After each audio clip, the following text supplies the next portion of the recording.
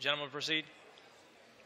Mr. Speaker, earlier this evening, the House passed H.R. 3359, the Cybersecurity and Infrastructure Security Agency Act, and I would like to commend Homeland Security uh, Committee Chairman McCall and Ranking Member Thompson for their efforts getting it through the House, uh, along with my colleagues on the Homeland Security Committee.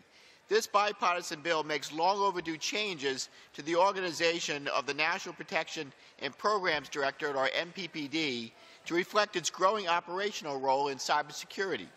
Despite it being notionally a headquarters component, NPPD is home to the government premier cyber incident response teams, the 24-7 watch floor and information sharing hub, and the Federal Network Resilience Division tasked with supporting other agencies in defending their networks. NPPD is also charged with leading asset response activities under the National Cyber Incident Response Plan. H.R. 3359 recognizes that these activities go far beyond NPPD's original mission and raises the renamed component to an agency on par with Customs and Border Protection or the TSA. Mr. Speaker, I hope the bill helps make crystal clear the DHS is the primary agency for domestic cybersecurity in peacetime, and I encourage young people looking at cybersecurity careers to consider joining the vanguard of this new agency. I look forward to its swift passage and consideration in the Senate, and I yield back the balance.